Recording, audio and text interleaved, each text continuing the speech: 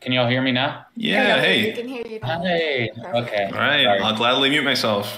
no, I was actually looking forward to you doing it, Andrea. so uh, happy happy to be sharing this here. I'll share my screen real quick.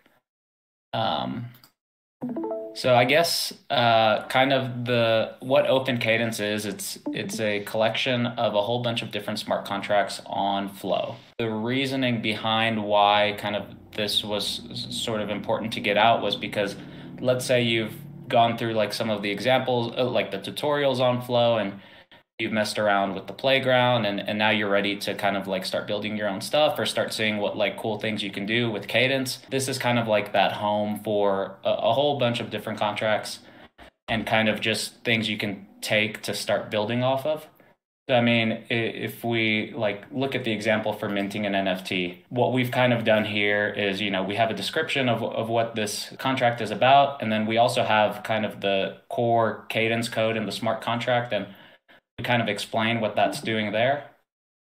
And then we also have the corresponding transaction code or the script that you use to call that. Um, and then we explain what that transaction's doing.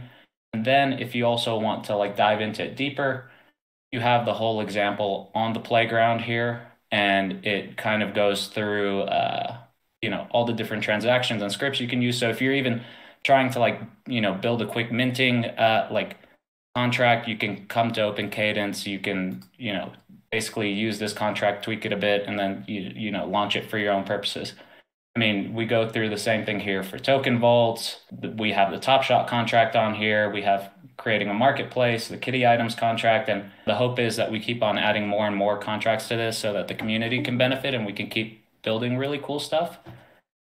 So that takes me kind of to my next point, which is if you do want to contribute, we have kind of here a contribute button and it gives you you know a step by step on how to add an example to open cadence. It's pretty straightforward. Um, you'll have a folder that will be exported to, to the main app and then it goes by like the things that you need to add in, in the folder.